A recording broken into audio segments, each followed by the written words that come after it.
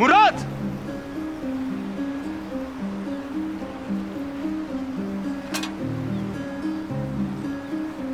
Sen beni görünce geri mi döndün Murat? Öyle mi olduk şimdi? Ha?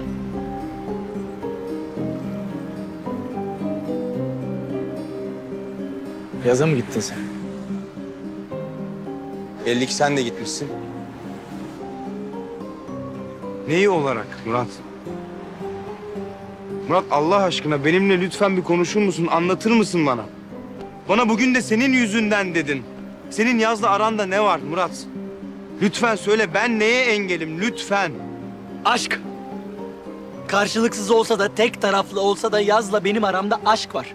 Eğer sen olmamış olsaydın belki tek taraflı da olmazdı anladın mı? Yaz'ın sana olan hayranlığı olmamış olsaydı. Benim suçum mu bu? Benim suçum mu Murat? Ne yapmışım oğlum ben? Seni tanımıyormuşum gibi davranıyorsun. Bak ben olmasam sen bir halt yiyemezsin bunu biliyorsun. Bu sefer başkaydı. İlk defa başkaydı. Ben ona ilgi gösterdikten sonra mı sen ona aşık olduğunu anladın Murat? Çıkıp konuşsaydın o zaman niye konuşamadın? Sana yıllardır diyorum şu duygularını belli et diye. Niye demiyorsun? Bak içinde tutuyorsun işte. Ama yok. Murat Bey emin söyleyemez. Neden? Çünkü gururuna yenilir değil mi? Ne gururu oğlum? He? Ne gururundan bahsediyorsun sen? Hangi gurur? Gurur mu kaldı? Murat! Ne o Kemal! zaman peki? Ne olduğunu söyle bana. Ne? Murat! Bu şair havaları Kemal! ne? Onu söyle Dur, bana. saçmalama, ne Bana söyle ne bu havaları? Ne alakası var oğlum şair havayla? Ha? Sen duygularını kağıtlara saklayacak kadar yüreksiz bir adamsın.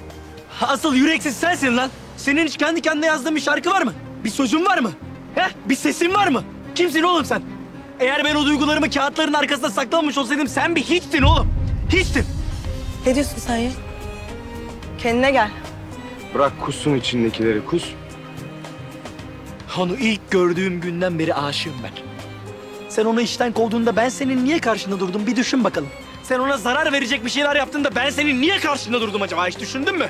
Onu kendi ellerimle senin önüne attım. Lanet olsun tamam mı? Lanet olsun ona o şarkıyı kaydettiğim güne lanet olsun. Onu kendi ellerimle senin önüne attım ya ben. Senin önüne attım. Sen de bunu öyle güzel kullandın ki şimdi bunları aşk zannediyorsun. Sen aşk ne demek biliyor musun ya? Aşk ne biliyor musun? Aşk bu kızın senin için yaptıkları. Aşk benim yaz için feda ettiklerim aşk. Neyi feda ettin? Hı? Neyi feda ettin Murat? Şöhretinden mi oldun? Parandan mı oldun?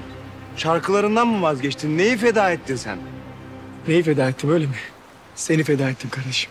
Kardeşliğimizi feda ettim.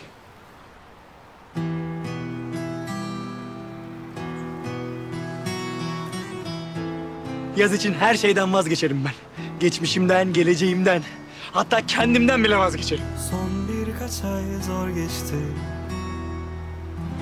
Canın sağ olsun. Sevgim değil sabrım tükendi Canın sağ olsun. Biliyordun belki Eyvallah.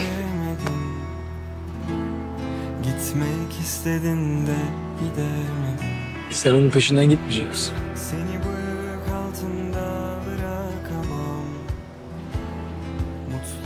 Güzel. Yalnızlık bana zor değil ama Alışmışım ben bu kavgaya. Bundan geceleri uyuyamam. Yastığımda kokun olmadan. Sormayın halimi hatırımı Veda edin ben kaybolmadan. Gitsem buralardan Arkama bile bakmadan. Senden tek isteğim Anılarımızı saklaman. Sevmeyi unutma Sen güzel seversin. Olmadı diye Tanrı'ya isyan edemezsin Arkama bile bakmadan Senden tek isteğim Anılarımızı saklaman. Sevmeyi unutma Sen güzel seversin. Olmadı diye Tanrı'ya isyan edemezsin. Ben sizi yalnız bırakayım.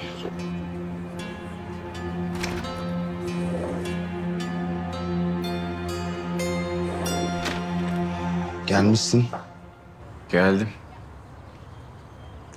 Ama gideceğim şirkette kalan birkaç eşyam vardı. Onları almaya geldim. Bu iki oldu ama üçüncüsü olmayacak merak etme. İlkinde seni kazanmıştım. İkincisinde kaybediyorum. Galiba.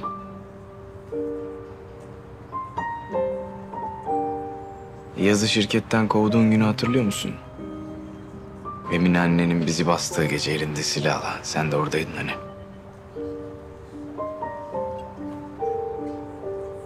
Sen o gece yazı şarkı söylemeye ikna edebilmek için oradaydın. Bense ona olan aşkımı itiraf edebilmek için. Bu arada yaptım da biliyor musun? Her şeyi söyledim. Eksiksiz şekilde bütün aşkımı ona ilan ettim ama... Geç kalmıştım. Maalesef. Yaz uyuyakaldı. Daha doğrusu uyuyakalmıştı. Sonra olanları biliyorsun zaten. Annesi geldi elinde silah. Yalanlar, dolanlar. Sen. Siz o gün sahneye çıkıp rahat rahat şarkı söyleyebilin diye evlilik yalanı bile uydurduk. Hatta sahte bir evlilik cüzdanı düzenledik Emin anneye gösterebilmek için.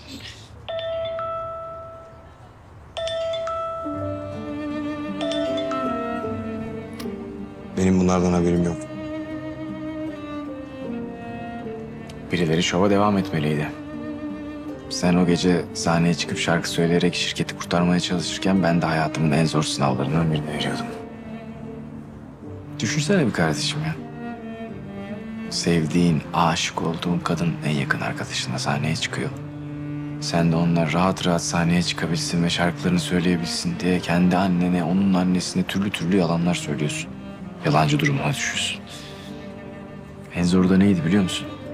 Siz onunla o sahnedeyken göz göze, el ele. Şşş, Benim yazla aramda hiçbir şey geçmedi. İnan bana. Benim için bunları yapmana gerek yoktu be oğlum. Sadece senin için yapmadım ben. Yine olsa yine yapardım ama... ...bu şirkette çalışanlar da işsiz kalmamalıydı. Yaz için yaptım. Yaz hayallerini gerçekleştirebilsin diye. Ben de annemin bestesiyle babasının yazdığı şarkı sözlerini birleştirip yazı mutlu etmeye çalışmıştım. Seninkinin yanında bir hiçmiş. Bir şey diyeceğim. Sen o sözleri nereden buldun? Senin masanda duruyordu. Benim için bir şey yazdığını zannettim. Aldım, fotoğrafını çektim. Sonra eve bir baktım. O yazı bizimkinin yazısı değil. Sonra yazda bahsedince dank etti. Ben de bir şey yaptım zannediyorum ya. Yaptın kardeşim. Yaptın. Sen onun en önem verdiği şeyi babasının sözlerini şarkıya çevirdin.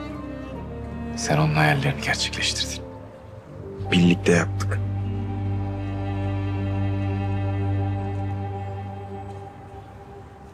Daha fazla video izlemek için kanalımıza abone olabilir.